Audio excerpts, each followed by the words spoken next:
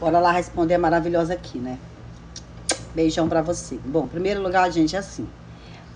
Eu tô no processo, para quem me acompanha sabe que eu tô no processo de hipertrofia, tá?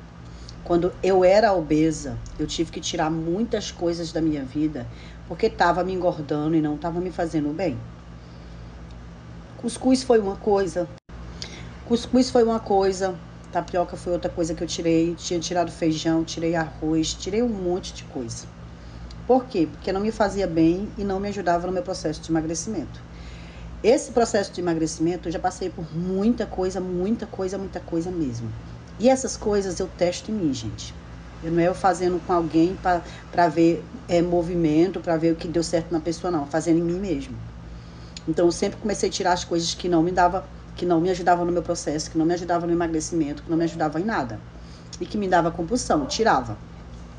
Agora, para quem me acompanha, eu estou na fase da hipertrofia.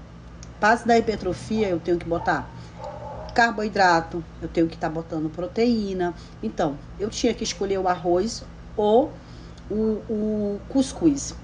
E entre o cuscuz e o arroz, eu escolhi o cuscuz. Eu tive que colocar o cuscuz de novo na minha alimentação. Por quê? Porque eu estou no outro processo de ganho de massa muscular. Entendeu? Eu não estou mais naquele processo de perder na balança. Agora, para quem me acompanha, poderia entender isso. Para quem tem um processo de emagrecimento, também poderia entender isso. Por quê? Muita gente não sabe o que é processo de emagrecimento. Por quê? Começa e não termina. Começa e não tem meio e nem tem fim. Entendeu? Fica no começo mesmo. Eu não, gente. Eu tive começo, eu tive meio e eu tô tendo, em nome de Jesus, o fim pro resto da minha vida. Entendeu? Então vocês têm que ter noção disso. A gente tira coisas na nossa alimentação que a gente acha que não tá bom pra gente e depois a gente coloca de novo. Todo ser humano é diferente. Eu tô na fase de hipertrofia muscular, tô na fase de ganho de massa muscular, sabe? De crescer, de crescer. Então eu tenho que estar tá colocando coisas que me ajudem no meu processo. Então eu tinha que botar ou cuscuz ou arroz. E eu escolhi o cuscuz. Por quê? Porque o arroz eu não consigo mais comer que nem foi o caso do cuscuz. Eu não estava mais conseguindo comer cuscuz. Vocês têm que ver avaliações do meu processo, avaliação do que eu estou vivendo, gente. Não é simplesmente eu falar uma coisa e fixar aquilo, não. Quem vive de passado é museu. Eu não sou museu. Eu vivo de presente, eu vivo de agora, eu vivo de tentativa, eu vivo de foco, de objetivo. E para mim, eu tenho que evoluir.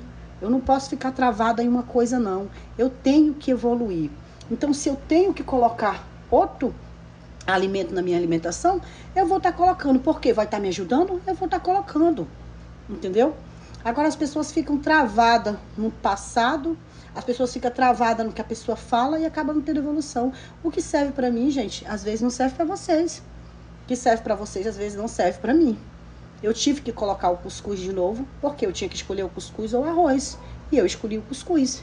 E vocês vão ver sempre eu evoluindo aqui. Entendeu? Porque eu sei que tem muita gente que, que quer ver eu caindo, mas não vai ver. Por quê? Porque eu só vou cair quando Deus disser que é para mim cair. Enquanto Deus disser, levante, levante, levante, levante, quantas vezes for preciso, eu vou levantar.